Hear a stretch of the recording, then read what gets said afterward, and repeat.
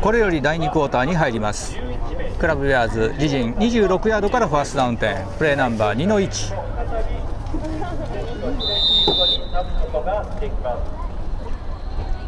攻守ところ入れ替わりましてただいまより第2クォーターの開始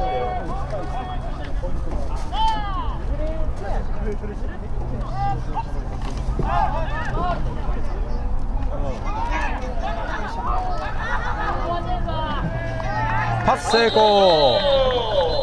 クォーターバック8番ワイドレシーバー2番にヒッチパス。これを2番はキャッチランで約8ヤード減。しかしイエローフラッグ反則が発生しております。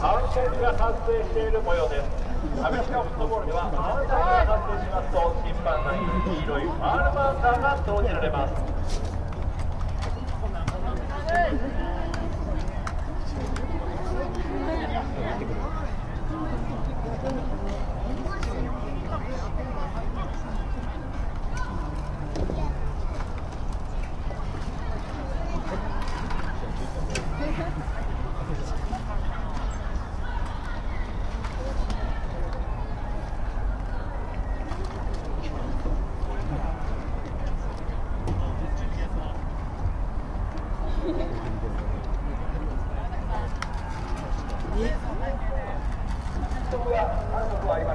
えーこのフラッグは無効です。反則はありませんでした。したがってプレーが有効。10ヤード以上ゲインしているのでベアーズファーストダウン獲得です。